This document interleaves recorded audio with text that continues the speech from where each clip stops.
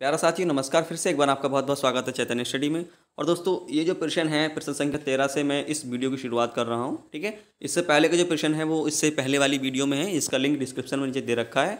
और मैं इसके प्रश्नों का उत्तर आपको बताने वाला हूँ, ठीक है? यो यूपी बी की परीक्षा नौ अगस्त दो हज़ार बीस को हुई है आज, उसके जो है प्रश्नों के उत्तर हैं ये, ठीक है? प्रश्न है सर्व शिक्षा अभियान कब से शुरू हुआ? तो ये हुआ दो हज़ार से।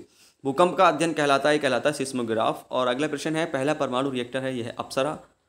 देखिए, हम प्रश्न संख्या अगले पाएँगे, उसमें बताया गया है, कांग्रेस का विभाजन कब हुआ? तो यह 1907 में हुआ। अगला प्रश्न है, परम 8000 क्या है? तो यह है, पहला सुपर कंप्यूटर है।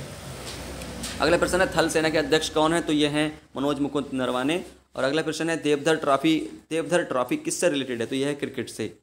ठीक है, अगला प्रश्न है लाइनक्स क्या है? तो यह एक ऑपरेटिंग सिस्टम है, और अगला है कि काव्य की शोभा बढ़ाने वाले वाक्य क्या कहलाते हैं? तो कहलाते हैं रस।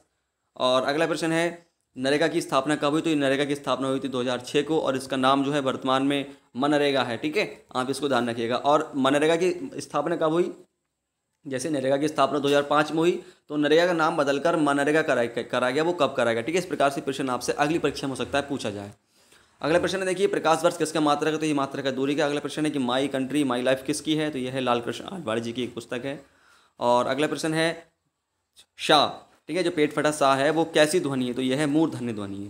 फ़िलहाल दोस्तों, इस वीडियो में इतने ही प्रश्नों का उत्तर मैं आपको बता रहा हूँ। और जो प्रश्नों के उत्तर हम आपको अगली वीडियो में उपलब्ध कराएँगे। मिलते हैं आपसे अगली वीडियो तब तक के लिए नमस्कार, अपना ख्याल रखें। धन्यवाद।